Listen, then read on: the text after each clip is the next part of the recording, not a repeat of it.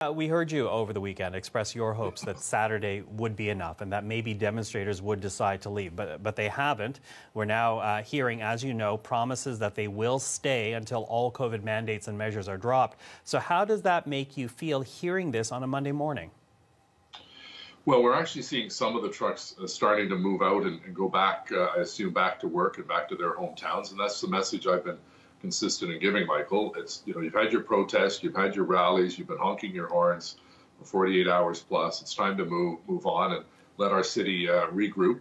Uh, we're dealing with COVID. We're dealing with um, uh, uh challenges with uh, temperature and snow. And the last thing we need is for this thing to linger on. And, and quite frankly, I think uh, they're losing a lot of public support when they, they have members of their gang that go out and urinate on the, the tomb of the unknown soldier where Corporal Cirillo was killed several years ago, uh, guarding the tomb and the cenotaph.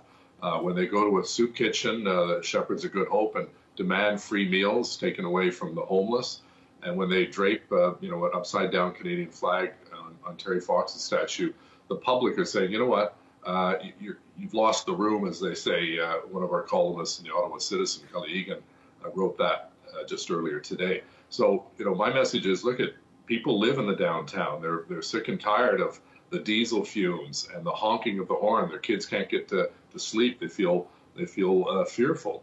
And uh, the same with our business community. You know, today, as you know, Michael, is the first day restaurants can open up again at 50% capacity and cinemas and so on. And many of the small businesses in the downtown are afraid to open up. That shouldn't be the case in, in a civil society like ours.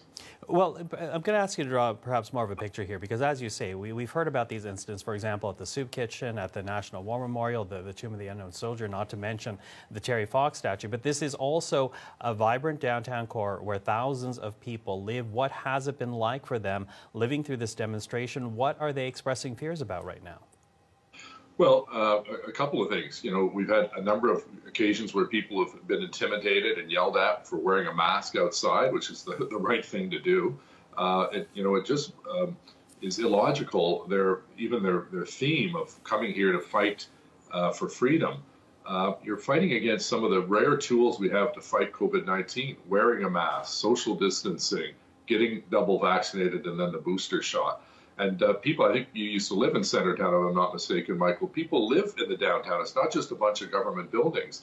Uh, they live there. They go to schools there. We had to close one of the schools for fear of uh, safety. Same with the daycare center.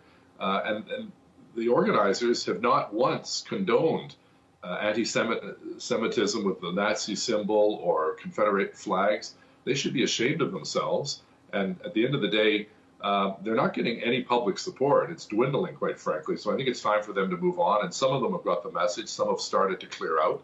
But the rest of them should be on their way and go back to their hometowns, talk to their local MPs. This is a federal issue of, of, um, of a mandate, and uh, allow our city to regroup and um, start to um, open up again for the residents and for the tourists and the visitors and the people that work uh, here in the nation's capital. You know, the Byward Market has been impacted, Centertown the broader downtown core.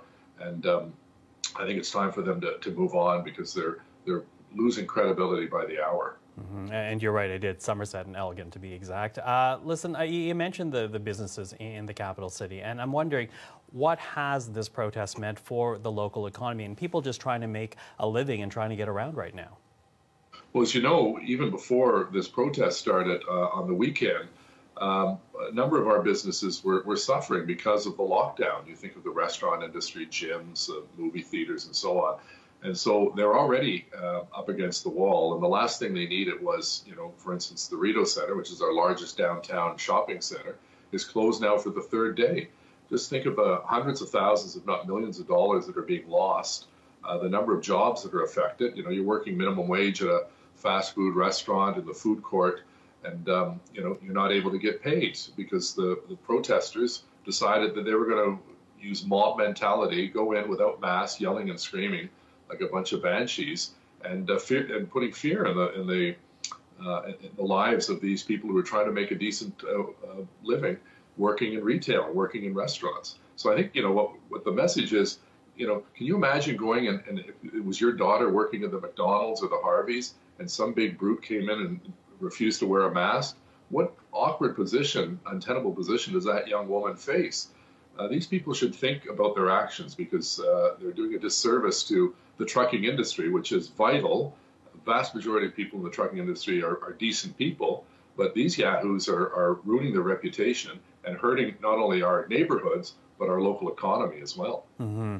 Now, uh, as you said, some people have started to, to leave on their own, but going forward, is there anything you'd like to see done specifically? Is there a role here for police or the federal government?